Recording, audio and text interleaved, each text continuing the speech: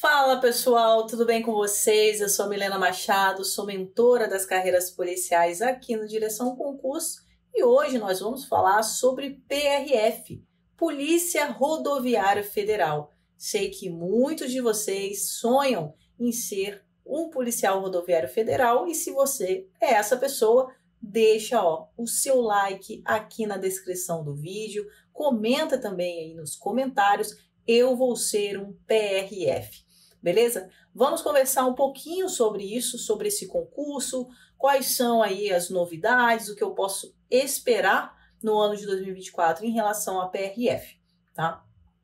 Bom, pessoal, é, nós tivemos uma proposta da, da própria corporação, né, ali da PRF, em relação a uma reestruturação do cargo. E nessa reestruturação do cargo, foi enviado ali, foi assinado um documento no dia 4 de maio de 2023 e enviado para o governo federal. Né? O governo federal recebeu ali no dia 12 de junho de 2023 esse documento. Tivemos movimentações no dia 23 de junho e essa minuta ela trazia ali alguns detalhes, alguns detalhes a respeito da, da carreira, das atribuições, dos direitos e das prerrogativas, do cargo, entre outros detalhes, como jornada de trabalho, lotações, tá? E ainda, de acordo com, com esse documento, em 2025, o salário inicial de um policial rodoviário federal chegaria a R$ 18.544. Então, essa era a proposta para a terceira classe padrão 1 da PRF. Atualmente, é, nós sabemos que um policial rodoviário federal está ganhando aí R$ 10.790, isso já contando com aquele reajuste que nós tivemos de 9%, tá? Que foi dado ali pelo governo federal em maio de 2023. Então, é, essa, é, esse é o panorama né, em relação à reestruturação, que foi solicitado pela corporação. E agora, recentemente, nos últimos dias, tá, tivemos uma proposta inicial do governo para essa reestruturação. Né? Eles responderam com uma proposta. E essa proposta não é muito boa, né? Dentro daquilo que foi pedido pela corporação, é, não foi bem o que o governo federal é, ofereceu. Tá? Então, no dia 29, agora de, no último dia 29 de novembro de 2023, o governo ele enviou essa proposta inicial, que seria uma criação de uma nova classe e que teria um aumento em 2024 um incremento em 2025 e em 2026, tá? Mas não chega nem na metade do valor solicitado pela corporação, tá? Mas seria um aumento parcelado em 2024, 2025 e 2026, mas não chega nem à metade do valor que foi solicitado pela corporação. Então sabemos aí que atualmente R$ 10.790 aproximadamente recebe um policial rodoviário federal. Eles pediram para jogar para R$ 18.544 na terceira classe padrão 1. Essa foi a proposta da corporação. Mas o governo federal, com esses é, aumentos parcelados, não chega nem na metade do valor que foi solicitado pela corporação. Faça aí os seus cálculos e você mais ou menos vai ter aí uma ideia em relação a essa proposta. Mas o ponto, o ponto positivo de tudo isso é que houve uma proposta e uma contraproposta. Isso quer dizer que há ali é, uma negociação. Então isso pode mudar também. Agora, né, estão conversando. Então há uma negociação aberta. E isso tudo pode mudar ainda dentro dessa negociação para melhor, né?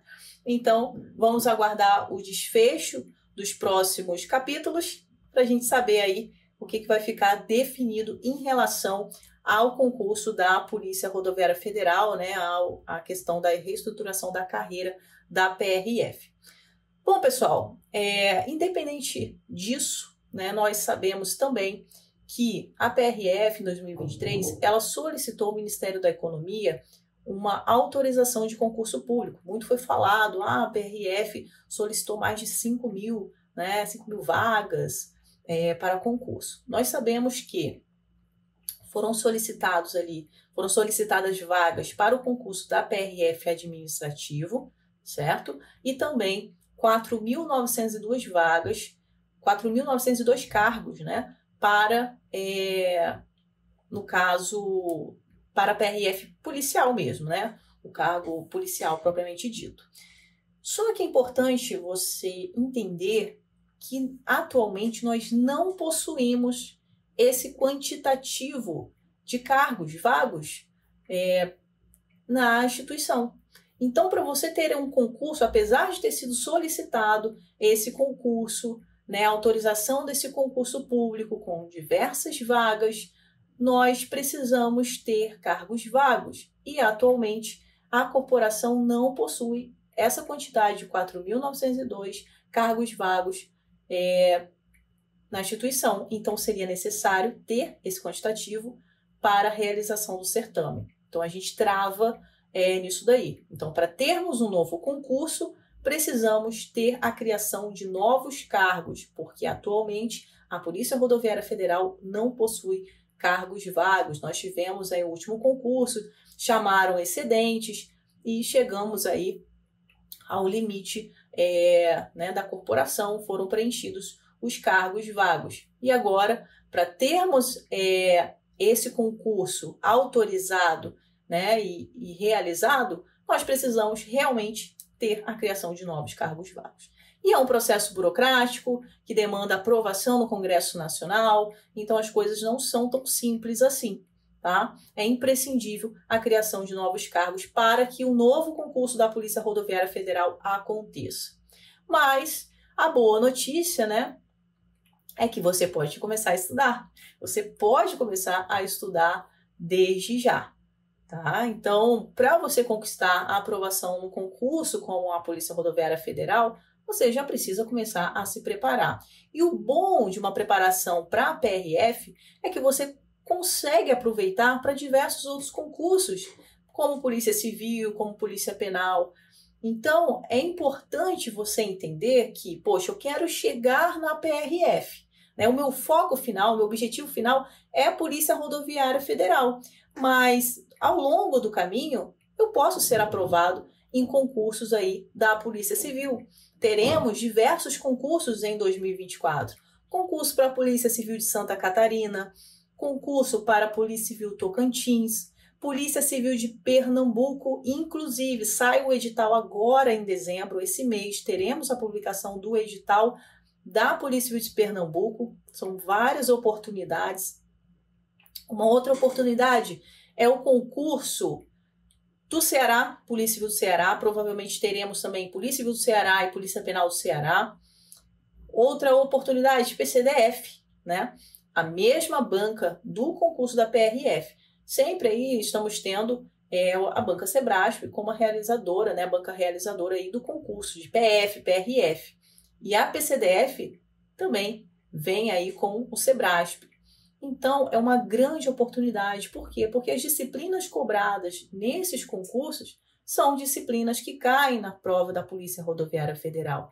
Então, você não vai olhar exclusivamente para a PRF, apesar de querer ser aprovado na PRF. Mas como não temos um cenário favorável para um edital sair logo, nós precisamos desse processo burocrático de criação de novos cargos para que esse concurso que foi solicitado seja autorizado, né? E aconteça, e aconteça, porque não dá para a gente fazer o concurso sendo que não, não tem cargo, né? Não tem cargo, nem nenhum cargo vago. Então, a gente ainda tem o concurso, o último concurso com validade, ele foi prorrogado, né, foi prorrogado até o dia 21 de dezembro de 2025. Significa que os candidatos aprovados nesse período ainda podem ser convocados né, e amenizar a defasagem no quadro de servidores da instituição. Já chamaram o quantitativo necessário. Se abrir mais algum cargo vago, ainda temos um concurso com validade que pode chamar novos servidores, essa, essa galera que está esperando.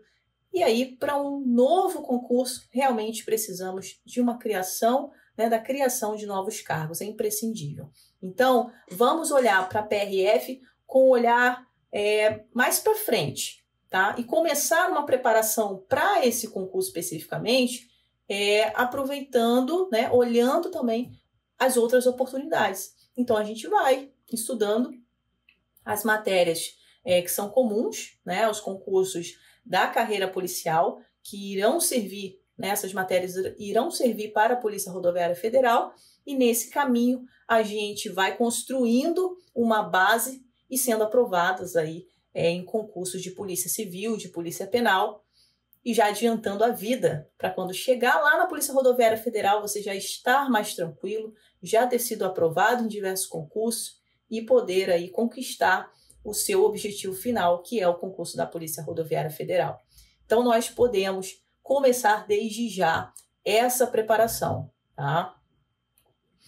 É, então nós temos aqui é, quais disciplinas estudar para esse concurso. A princípio, o ideal seria você estudar língua portuguesa, informática, raciocínio lógico, matemático, a parte né, de direito constitucional, administrativo, penal, processo penal.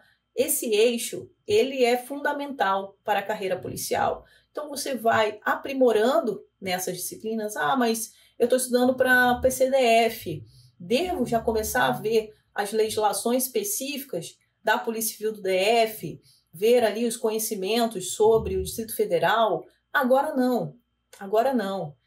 Vai estudando a parte constitucional, parte administrativa, penal, processo penal, português, né, informática, raciocínio lógico. Mais adiante você pega essa parte específica. Por quê? Porque estudando esse eixo que eu estou falando para você, você vai aproveitar a prova da Polícia Civil de Pernambuco, que também tem a banca Sebrasp como a banca realizadora. Você vai aproveitar a PCDF, agente de custódia, que é um concurso, inclusive, que paga 11 mil reais iniciais.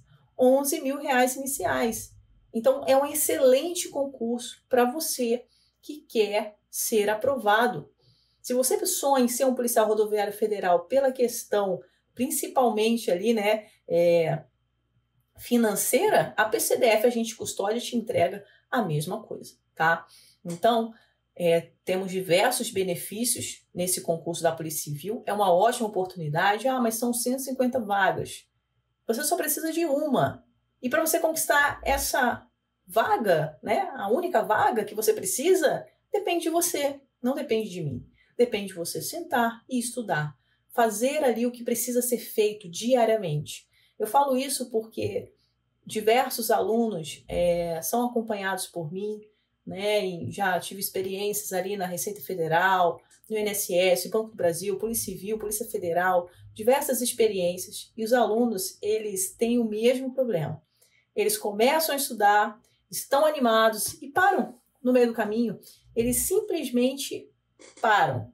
Ou não querem revisar, ou só querem fazer questões, e eles é, perdem a oportunidade de, ser, de serem aprovados, tá? Então não seja esse aluno que começa feliz e no meio do caminho desanima. Você tem a oportunidade de ser aprovado na PRF quando sair esse concurso. Quando tivermos aí cargos suficientes para termos o concurso. Mas enquanto isso, você pode ser aprovado em outro concurso, como a PCDF, como a Polícia Civil de Pernambuco. São concursos que já estão aí na porta. A banca já foi definida. O edital sai a qualquer momento. Sabemos que no DF nós temos ali um prazo né, mínimo para termos a aplicação da prova a partir do momento que sai o edital, que, que é um prazo de 90 dias. Então você sabe que ainda não saiu o edital. Certo, são 90 dias até a prova mais esse tempo que está demorando a sair o edital. Então não olhe como um, né, de uma forma negativa. Não está saindo o edital, beleza, não está saindo, mas é um momento a mais que você tem para se preparar. E você se preparando para esses concursos, você automaticamente também está se preparando para o concurso da PRF. Quando chegar, quando tivermos o burburinho, quando tivermos ali um cenário favorável, sabemos que é o momento para começar a se debruçar em cima da parte específica da PRF, uma legislação de trânsito, né, a parte de física, enfim, aqueles conteúdos específicos que caem na PRF e você vai ser aprovado na Polícia Rodoviária Federal. Então, se você tem alguma dificuldade em relação a como fazer essa preparação, como que eu posso aproveitar todas essas oportunidades da carreira policial, de Polícia Civil, de Polícia Penal e depois aproveitar tudo isso para a Polícia Rodoviária Federal. Se você não sabe se organizar para isso, entre em contato com direção concurso, entre em contato conosco, que será um prazer te acompanhar rumo à aprovação. Nós vamos evoluir juntos. E não estou falando de uma preparação de longo prazo. Dependendo do seu empenho, em poucos meses nós conseguiremos alcançar essa primeira aprovação. Então manda uma mensagem para a nossa equipe, se inscreva aqui no Direção Concurso e venha fazer parte da mentoria, uma preparação em alto nível para as carreiras policiais. Te vejo em breve. Tchau, tchau.